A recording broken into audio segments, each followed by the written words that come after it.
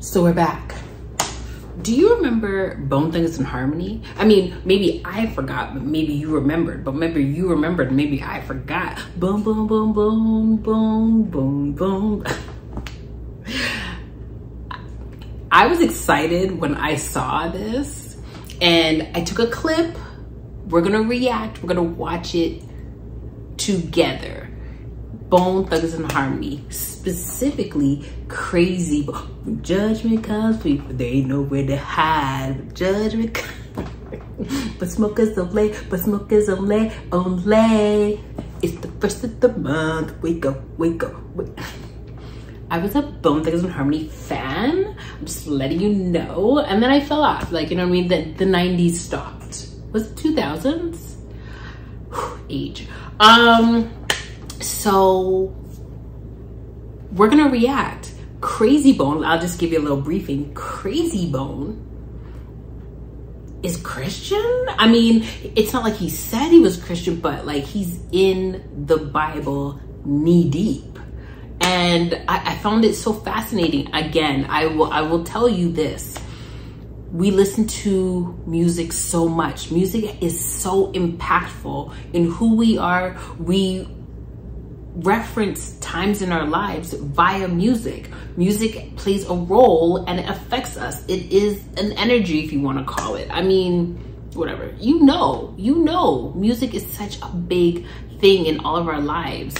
And just to know that Kanye was probably right, the pastors have now become I wouldn't say hip hop like KRS One. I mean, maybe he wouldn't even say that either, but the preachers are the ones who are singing to the youth, to us, and the scriptures are their words. But what happens when the artist becomes pastor? I'm not saying Krayzie Bone is a pastor, but the way he's talking, he's teaching. Teacher. Krayzie Bone. Bo, bo, bo, bo, bo. This is so cool to me. It's so cool. When I found this, I was like, ain't no way to have a judge or Okay, so, I'm done playing around. Stop. He who has an ear, let him hear. Okay, we're gonna watch the video together and we're gonna start right. Indeed. So we go moving on further in the paragraph. It says another subheading. It says the Bible is hated and loved. Hmm. It says at the same time, we have to note that no other book has been the target of so much vicious opposition and even hatred throughout history. Hmm. Bibles have been burned on public bonfires from the Middle Ages down to our 20th century. And reading or distributing the Bible has been punished with fines of imprisonment of imprisonment even in modern times. Yeah. In past centuries, crimes often led to torture and death. So I want to stop there before I keep reading. Right. Stop here for a second. I want us all to stop here for a second. I want y'all to ask yourself, why would they find the people, put them in prison, and even murder them just for reading and translating the Bible? Yeah. And we also have to think about this. Let's be logical. If man or the powers that be wrote this book to Bible to control the people, or to keep us oppressed or to keep us in the darkness, why would they punish them for reading it? That doesn't make sense. You would think they would want everybody to read this so you can be brainwashed. Everybody, come on, read this book so you can be brainwashed. They tried to stop people from reading mm-hmm. it at 1st mm-hmm. They didn't want people to read that book. Yep. You know what I'm saying? They they they tried to stop people. It was a law against reading, and for that reason. And there, there there are countries, there are even countries today, bro, still today that have banned the Bible and certain religion. Russia is one of them. They've never been friendly to God's message hmm. ever. Their thing is absolute power. That's what their thing is. But what stands out to me in all of this is how how these people knew the consequences of getting caught for trying to translate or read the Bible and they still risked their lives. Oh yeah. To learn what was inside this book. Yep. We talk about all the time. People that people are not going to risk their lives their entire life for something they don't believe, or Sure, something they're not convicted of. Yep. You're not going to get everybody to go along with a with the scam.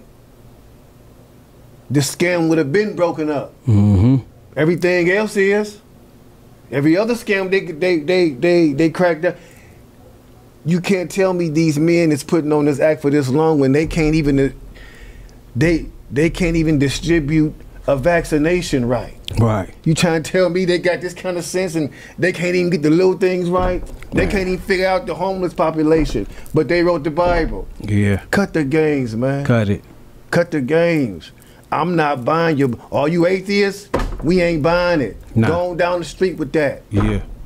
We ain't buying that. And see, like what Because you you have no proof. You have no further proof. Look, look, look at what you say even too. The laws of even um uh can't read. That ain't just to keep people from uh coming up in the world. Exactly. Because the word of the Lord, they knew the slaves. That's why with slaves, if you to even find you with a book, it was it was like you got found with a with a with a, a- a kilo. But not to cut you off right there. Black people wasn't the only ones that they didn't want to want to read. It was Yeah. other races they didn't want to Oh, read either. oh, For real. definitely, They didn't want them touching that book. Because once you can take this, reread it, and they like if they read it, somebody read it to them, and they like, oh this is power in it. Kind of like is- that movie Book of Eli. this is a dangerous to us. And they yeah, they said we can't let nobody read this, and we gon' we gonna take the love, we gonna take this book, but we gonna flip what it means. See, Satan know the word of the Lord too. You know what I'm saying? So he knows how to influence human beings also too, and do the things he wants them to do. They're susceptible to him. You know what I'm saying? So what happens is they teaching the word of the Lord backwards. They teaching and using it as a tool to keep people down or press people, no matter what country. Tell me that wasn't cool. Tell me what. So, what I will say is, uh, and you, please leave a comment in the comment section. But what I will say, as for me and my house, this is a very classic, like, how do I say this? In my journey when I was, you know, Christian and all that, you know, I was going to the church, I was very involved in the church. It was when I look back at that time, and listening to this right now with Krayzie Bone, it feels like a very classic way of Christian. Like I wouldn't be surprised if, you know, he believes or they believe, you know, the rapture or they use those terms. How about that? They not not what they believe, but they use the terms of like the rapture and um I don't remember the last time I heard about the fact that Christians you know, cannot read the Bible in certain uh, countries and whatever. So I find super interesting. It's been so long because what happened was in my journey from the classic going to church and being involved and listening to that way of talking, I started to started to listen to the Hebrew Israelites. And that is a very different way of even teaching and preaching the word. So the Hebrew Israelites are a little bit more aggressive and they go precept upon precept, you know. So I don't know. I, I liked it. I, I've watched quite a few clips of Krayzie Bone and his delivery is exactly how it, it, he it's very calm it's a little aggressive but you know it's confident in the word but bonus clip so what i will say is it's a darn it's a damn shame that in 2022 if it's true i did not look it up that people people are fighting for freedom of speech but people can't even read what they want to read? How many times are we going to repeat history? It's very clear. What you decided way back when when you were a kid not everybody has a straight path of their spiritual journey so who are you to start ridiculing anybody knowing that by next week, next month, next year, couple years, they might change their mind.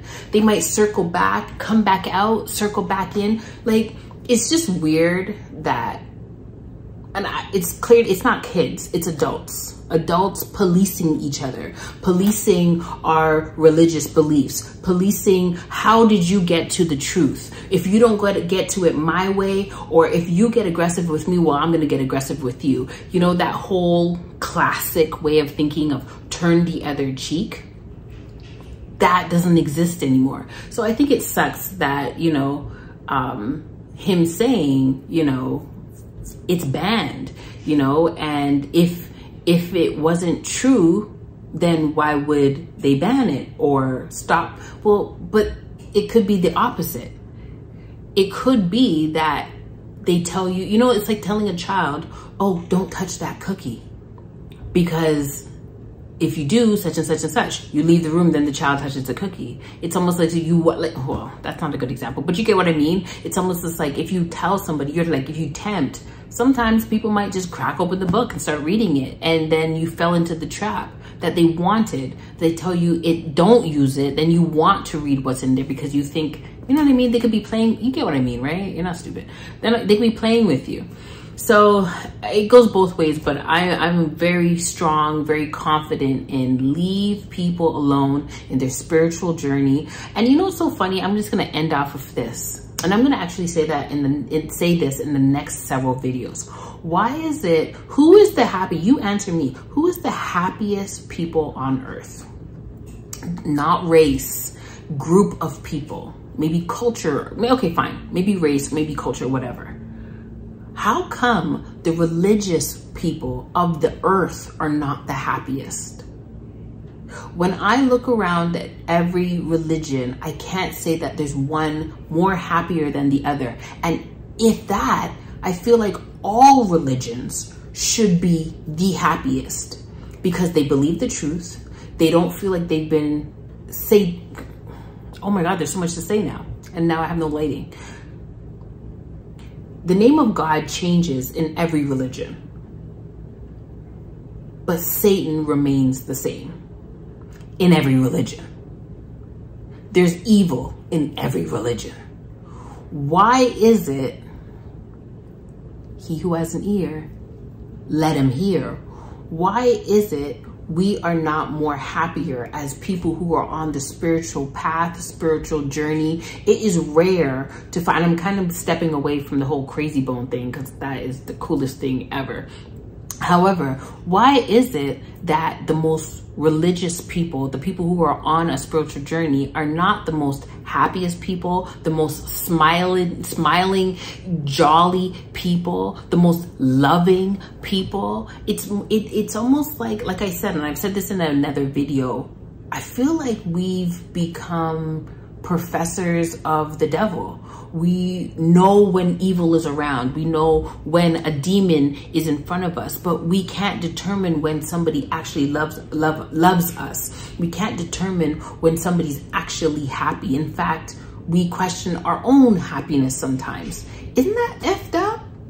But you're on the spiritual journey, but yet you have done the research, you've done your due diligence, but yet you're the most miserable. You're the one that's upset with somebody else who believes something that you don't because they came at you and you're debating them and they started it and I'm going to finish it because I know the truth and you're not going to tell. What the hell? you know, it was, it took me a long time to really understand when, you know, Kanye was on his thing about, you know, all we need is love, or he pushes the I wouldn't say the religion of love, but he pushes love. And I'm just like, it's kind of true. In every religion, love should supersede all evil. But yet, people can't even read a book in another land and they might. So now you gotta hide. Crazy. Crazy. Anyways, I just, how is this a, a blooper, like uh, extra added, whatever. Anyways, okay, we'll see you in the next video. Okay, bye. Look, my lighting's terrible. Do you see this? This is crazy. Unprofessional, okay? Subscribe. okay, bye. See you.